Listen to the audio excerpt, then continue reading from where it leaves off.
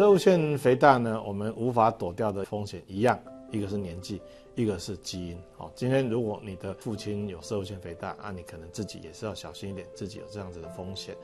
那当然，其他的部分呢，我们自己的观察，射物腺会在啊某一些时间突然间急速的变大。那当然有一些因素可能就有关系了哈。射物腺肥大跟男性荷尔蒙有关系。那这牵扯到一个很吊诡的地方，男性荷尔蒙最高的时期是在青春期，那为什么瘦腺肥大不是在青春期的时候最大呢？而是在老了之后才发生？有人说是跟男性荷尔蒙跟女性荷尔蒙的一个比重是有一点关系的，当然还有年纪大之后就会累积了一些慢性病，包括糖尿病啦啊，包括一些生活作息，那可能会包含一些饮食长期的一个氧化性的一个发炎跟累积，那都已经回到一个时间之后就开始突飞猛进，